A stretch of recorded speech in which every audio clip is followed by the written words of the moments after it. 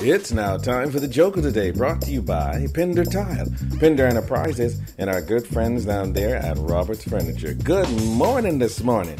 So a little guy is sitting at the counter eating breakfast, and a big fella walks in and hits the little fella. That's a judo chop from Japan, he says. Then he walks out and goes to the restroom. The little fella gets up off the floor and sits down to finish his breakfast. The big fella comes out of the bathroom and hits the little fella again. He said, "Oh, That's a karate chop from Korea. The little fella gets up and he leaves. Big fella sits down and orders his breakfast. As he starts to eat, the little fella comes running back through the door and knocks the big guy out. He looks at the waitress and he says, uh, when he wake up, tell him that's a tie iron from Bay Street Garage.